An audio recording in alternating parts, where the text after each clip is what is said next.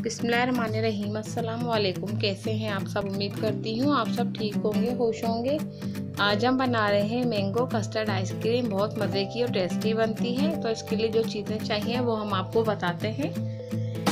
यहाँ हमने बड़े साइज़ का आम लिया था, एक अदद इसको मैंने ग्राइंड करके प्यूरी बना ली है और पानी नहीं ऐड किया।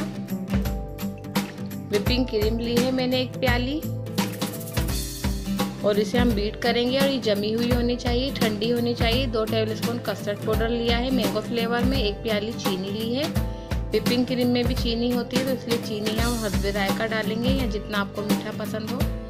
दूध लिया है एक प्याली। यहाँ मैंने हाफ़ के जी दूध लिया है, वो भी पकने के लिए रख दिया है। इसका हम कस्टर्ड बनाएँगे और इसे हमें पका के हाफ़ करना है। दूध को हमने अच्छी तरह से पका लिया है। अब इसके अंदर हम चीनी ऐड करेंगे। चीनी डालने के बाद हम दो से तीन मिनट पकाएँगे ताकि चीनी अच्छी तरह से दूध में डिजोल्व हो जाए।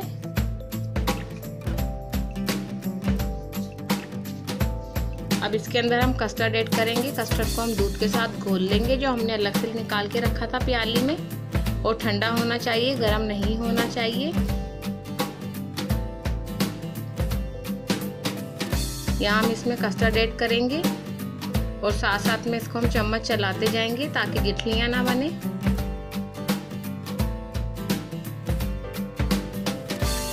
बस हमें इतना ही कस्टर्ड डालना है और उसको हमें दो से तीन मिनट पकाना है ताकि ये गाढ़ा हो जाए।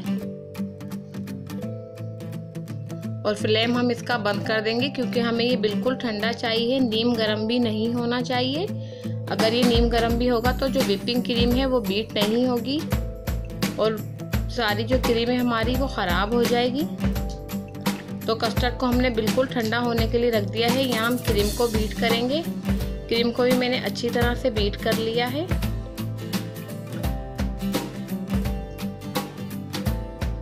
अब कस्टर्ड को हम अच्छी तरह से बीट करेंगे मैंगो प्यूरी के साथ, ताकि कस्टर्ड में कोई लम्स ना हो, कोई गिटली ना हो।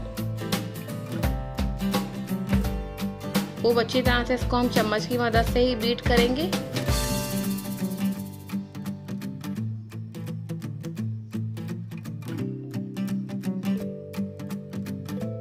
यहाँ हमने कस्टर्ड को अच्छी तरह से बीट कर लिया है और आप देख सकते हैं कितना क्रीमी ये बन चुका है।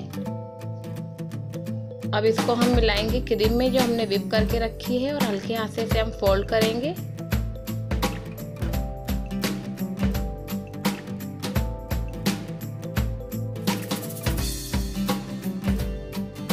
इसी तरह से दूसरा भी डाल देंगे जो हमने बचाया है।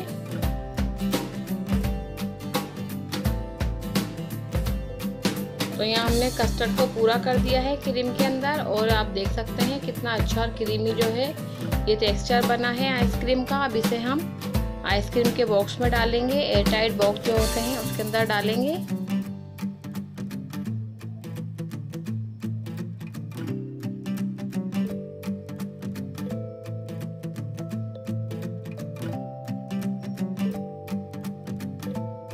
सारा डाल देंगे आइसक्रीम का बैटर और इसको हम अच्छी तरह से टेप करेंगे और कवर करके रख देंगे जमने के लिए।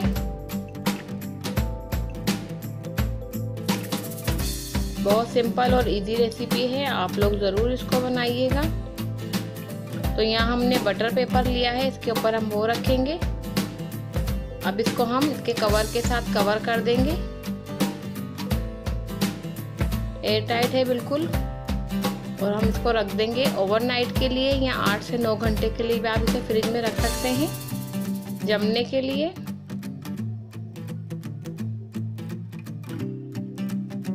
तो यहाँ हम आइसक्रीम को निकाल लेंगे फ्रिज के अंदर से और आप देख सकते हैं हमारी जो आइसक्रीम है वो बिल्कुल रेडी हो चुकी है।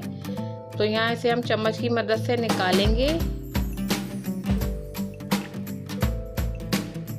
तो यहाँ हमारी जो आइसक्रीम है वो रेडी हो चुकी है। ऊपर से हमने थोड़े से इसमें काजू और बादाम डाले हैं। बहुत मज़े की और टेस्टी बनी है। तो आप भी इस रेसिपी को ज़रूर बनाइएगा, ज़रूर ट्राई करिएगा और मुझे ज़रूर बताइएगा कैसी बनी है। अगर आपको मेरी वीडियो मेरी रेसिपी पसंद आई है तो इसे लाइक करें शेयर करें और मेरे चैनल को सब्सक्राइब करें। वीडियो को फुल वॉच किया करें। बेल आइकॉन के बटन को ज़रूर प्रेस करें। अपना बहुत सारा ख्याल रखें। मुझे भी दुआ में याद रखें। अल्लाह हाफिज़।